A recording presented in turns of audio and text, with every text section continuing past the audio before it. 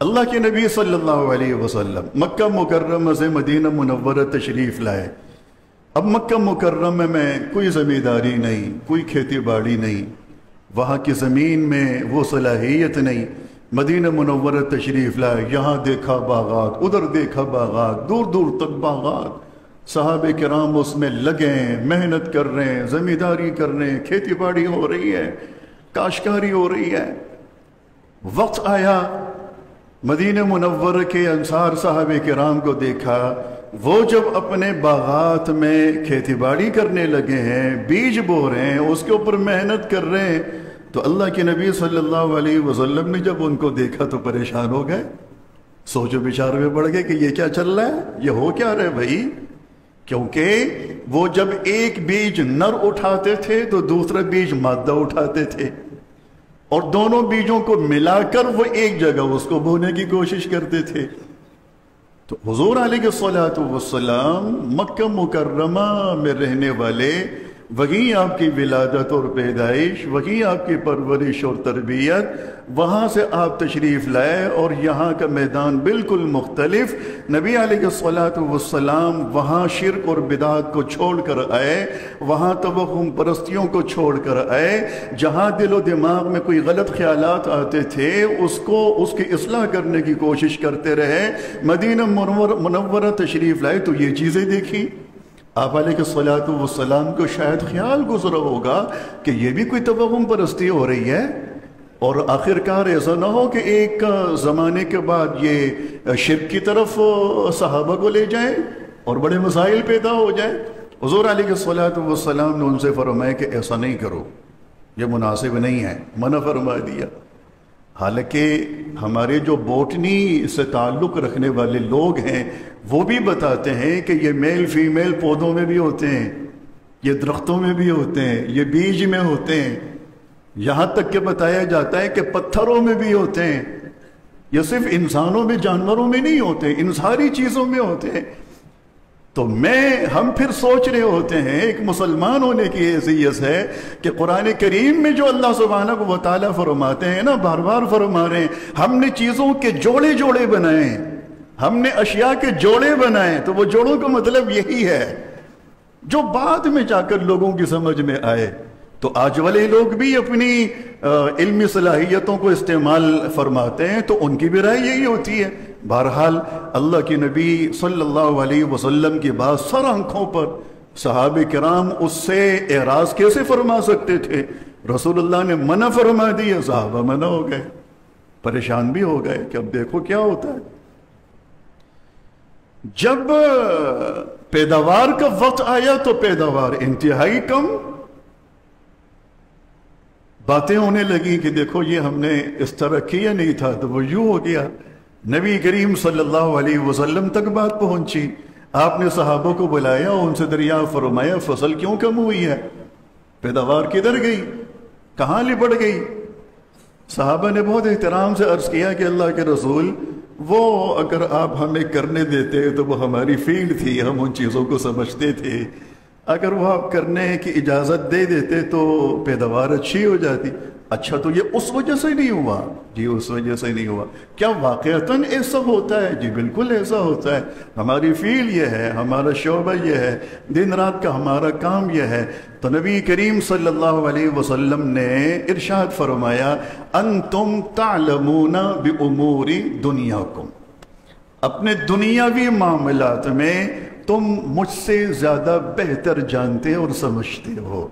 ये इजाज़त थी, ये उनको बताना था कि जैसे पहले करते थे, उसी तरीके से कर लिया करो, आइंदे के लिए इजाज़त है। राय का एतबार हुआ, राय का एतबार हुआ। अल्लाह के रसूल ने इस बात को कबूल फरमाया कि जी, हमारा शोबा नहीं है। ये दी, ये दीनी उमूर नहीं, ये दुनियावी उमूर हैं। आप लोगों का शोबा है, ठीक है। आप लोगों को अगर यूँ लगता है कि यकीनन ये बात है तो ठीक है, इसमें कोई हरज नहीं करते रहो। समझ गए कि जी, कोई तवहम परस्ती नहीं है, बल्कि इसका ताल्लुक हकायक के साथ है। दूसरा वाक़ बदर का मैदान था। अल्लाह के रसूल की आदत फरमा रहे हैं। साहब कराम पीछे पीछे, साथ साथ आपकी मैयत में चल रहे हैं, बदर के मैदान में पहुँचे। एक जगह रसूलुल्लाह ने साहबा से फरमाए कि ठहर जाओ, रुक जाओ, ये जगह मुनासिब है। यहाँ अपने खेमे बाँध लो और हमारा पड़ाव यहीं डलेगा। एक सहाबी रसूल, हज़रत हिबाब बिन मुंजिर रज़ी अल्लाह तु जंगी मैदान के माहिर थे, जंगों के, लड़ाई के, इन चीज़ों के रमूस को, उनकी बारीकियों को जानते थे, मुजाहिद आदमी थे, वो करीब तशरीफ़ लाए।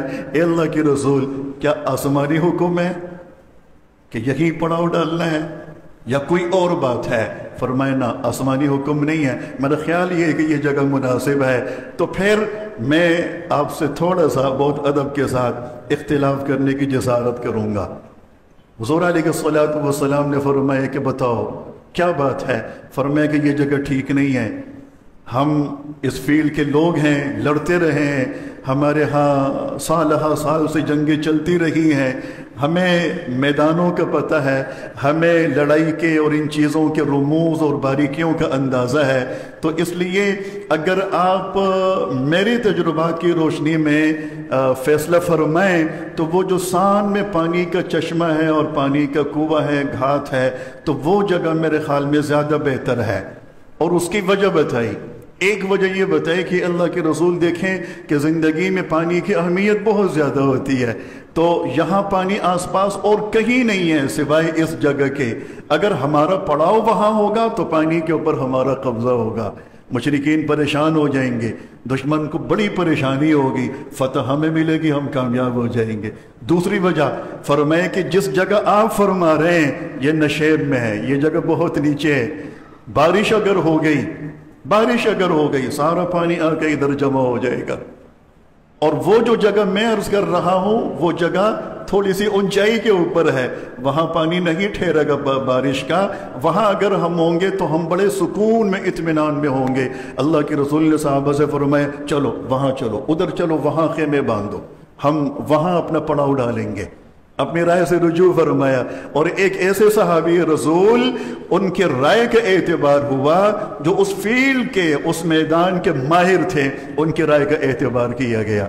ये दोनों वाकयात मैंने आपको सुनाए, जिनका बराह रास्त ताल्लुक जनाब मोहम्मद सल्लल्लाहु अलैहि वसल्लम की ज़ात के साथ है। एक उसूल समझ में आ गया कि फ़ील्ड जिस मैदान का आदमी होगा, उस मैदान के आदमी की राय का एतबार होगा। आप मेडिकल की लाइन के आदमी हैं, आप उस लाइन में, उस फ़ील्ड में अगर कोई बात कहेंगे, आपकी राय का एतबार होगा। आप सियासी माहौल के आदमी हैं, उस मैदान में आप कोई बात कहेंगे, आपकी राय का एतबार होगा। आप अगर ज़मींदार हैं तो अपने उस फ़ील्ड में आप कोई बात कहेंगे तो आपके उस मैदान में राय का एतबार होगा। ये एक बात है। दूसरी बात यह है कि जब बात आ जाएगी शरीयत की जब बात आ जाएगी शरीयत की तो फिर अकली बातों का एतबार नहीं होगा, क्योंकि शरीयत का ताल्लुक बराह रास वही इलाही के साथ है। अकल तो बहुत पीछे जाकर रह जाती है। अकल का ताल्लुक सियासत के साथ होगा, अकल का ताल्लुक ज़िम्मेदारी के साथ होगा, अकल का ताल्लुक हमारे माश वगैरह के उसूलों के साथ होगा। ये दीनी जो अहकाम हैं, जो हमारे अकायद और नज़रियात और ये मुसलमत हैं, इन बातों से अकल का क्या ताल्लुक और क्या तस्वर? कोई ताल्लुक नहीं, नमाज़ के साथ अकल का कोई ताल्लुक नहीं, रोज़े के साथ अकल का कोई ताल्लुक नहीं, हज के साथ अकल का कोई ताल्लुक नहीं। आप अकल से पूछें कि ये जो हाजी उधर जाता है, बैठा रहता है अरफात में, फिर वहाँ से निकल के ये उधर मुजदलफा चला जाता है, फिर ये मीना आ जाता है, फिर वो बैतुल्ला को तवाफ़ करता है, ये सब क्या है? अकल कहेगी ये सब बेकार की बात है ये फजूल की बात है वह खाने पीने को कुछ नहीं, ज़रूरियात ज़िंदगी कुछ नहीं। कभी लोग गर्मी में मर जाते हैं, कभी लोग कैसे? अपनी जान कुरान की हिफाजत करो, क्यों वहाँ जाते हो? अकल तो ये कहेगी। लेकिन जब हम कुरान करीम से पूछेंगे तो फिर कुरान ये कहता है कि जी, वहाँ पीने को मिले, न मिले, हज करना है, खाने को मिले, न मिले, वहाँ हज पे जाना है, गर्मी का मौसम हो या ठंड हो, हज पे जाना है, अकल का तो अकल का फैसला कुछ और है, और कुरान पाक का और दीन का फैसला फिर कुछ और है, वही ये इलाही का फैसला कुछ और है। आप अकल से पूछिए कि हम अपनी दुकानें इस महँगाई के दौर में बंद करके इधर आए हैं, बैठे हैं। तो हम क्यों बैठे हैं? हमें जाकर उस मैदान में काम करने चाहिए।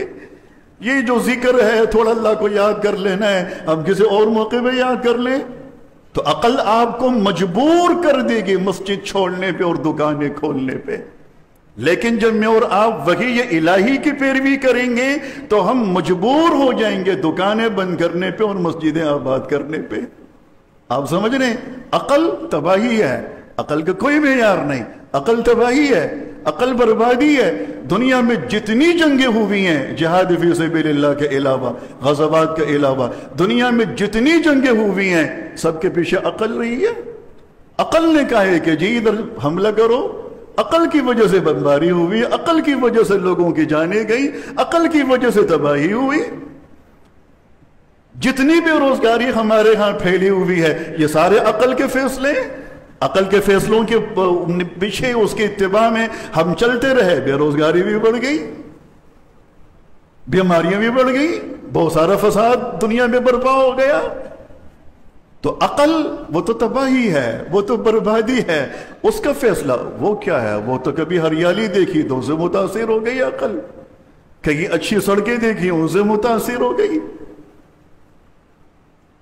कहीं अगर बासमान में बादल देखे उसे मुतासर हो गया। कहीं टाई पहने, थ्री पीस सूट में बंदे देखा कि ये बहुत अमीर आदमी है, उसकी अमीरी देखकर उससे मुतासर हो गया। किसी की बड़ी गाड़ी देखी उसे मुतासर हो गया। किसी के बहुत बड़ा महल देखा उससे मुतासर हो गया। अकल तो ये चीज़ है। कुरान कहता है वही ये इलाही कहती है, ये सारा सब कुछ, ये कुछ भी नहीं है। असल दावत दीन है। असल अल्लाह सुबहाना वाली का हुक्म है। असल नबी करीम सल्लल्लाहु अलैहि वसल्लम की ज़ात आलिया है। आपके इरशादात हैं। असल दीन है। इस बीच में अगर अक्ल आकर रुकावट बनती है तो अकल को छोड़ना है, दीन को नहीं छोड़ना। आप समझ रहे हैं? मैं क्या कहना चाह रहा हूँ? अकल को छोड़ना है, दीन को नहीं छोड़ना। जहाँ जब दीन की बात आएगी, जहाँ जब मज़हब की बात आएगी तो वहाँ फिर अकल बिल्कुल अलग हो जाएगी और जो असल जो मामला होगा, वो सारा का सारा दीन का होगा। इस हवाले से एक दो बातें मजीद मैंने अर्ज़ करनी है। इस पर इन आइंदे जुम्मे बात करेंगे। वह आखिर दावाना अनिलहमदिल्ला